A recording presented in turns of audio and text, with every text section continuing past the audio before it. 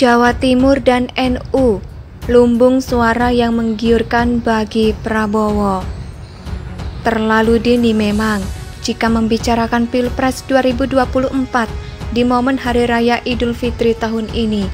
Tapi kenyataannya, manuver politik dalam berbagai kemasan sudah dikencarkan oleh bakal, bakalnya calon presiden 2024. Saya tulis demikian karena memang sejauh ini belum ada satupun partai politik yang mendeklarasikan calon mereka. Bahkan sejauh ini koalisi pun belum ada yang terbentuk. Para elit politik partai masih saling meraba-raba dan memetakan kekuatan masing-masing, baik kubu mereka sendiri maupun kubu lawan atau kawan yang akan diajak koalisi. Kendati demikian, safari politik sudah dilakukan jauh-jauh hari oleh mereka yang digaungkan akan diusung menjadi calon presiden pada Pilpres 2024 mendatang. Sebut saja putra mahkota Cikeas, AHY. Sejak bulan puasa yang lalu, ia rajin menggelar safari Ramadan dari satu ponpes ke ponpes lainnya. Bahkan yang sempat viral, ia sempat disebut keturunan Majapahit, sekaligus keturunan Rasulullah dua gelar sekaligus yang saya yakin AHY sendiri kaget menerima kenyataan yang belum tentu kebenarannya itu. Lalu ada Ganjar Pranowo yang lebih memilih melakukan pendekatan personal kepada publik melalui event mudik gratis menggunakan kereta api dari Pasar Senen Jakarta menuju Semarang.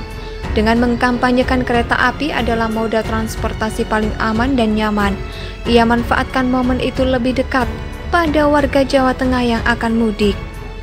Lain lagi Anies Baswedan setelah viral kontroversi kaos Anies Presiden yang mendompleng program mudik gratis yang diselenggarakan Pemprov DKI, kontroversi lain ia ciptakan saat momen sholat Idul Fitri 1443 Hijriah.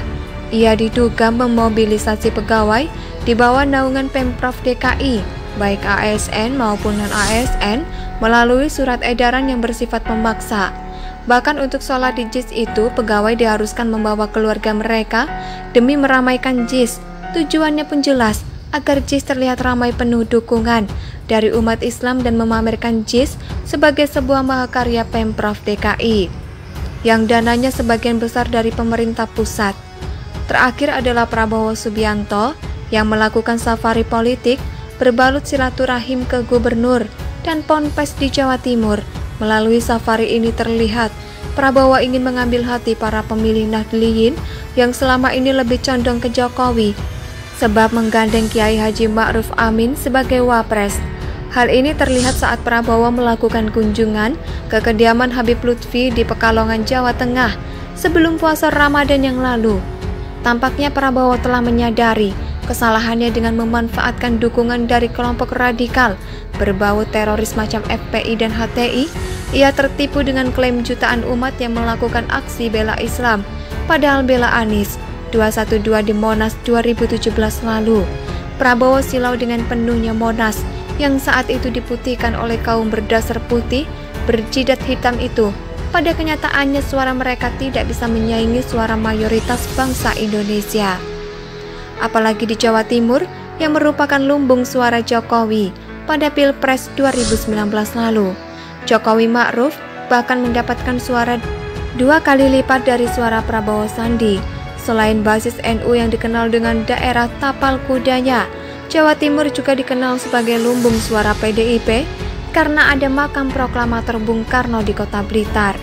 Hal inilah yang menurut Prabowo cukup menggiurkan, terbukti setelah melakukan silaturahim ke Presiden Jokowi dan Megawati. Terbaru Prabowo melakukan silaturahim ke pondok pesantren Tebu Ireng Jombang.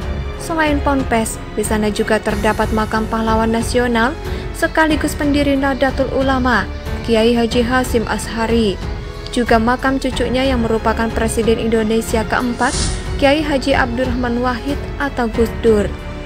Untuk mewujudkan ramalan Gus Dur itu, Prabowo berusaha mengambil simpati dan menggalang dukungan di Jawa Timur yang memang sangat menggiurkan. Apakah ramalan Gus Dur akan terbukti lagi seperti ramalan lain sebelumnya, patut kita nantikan bersama. Kalau Prabowo mau percaya ramalan Gus Dur boleh saja, karena sudah banyak yang terbukti, asal jangan lagi percaya prank berkedok mimpi ala Abdul Somad.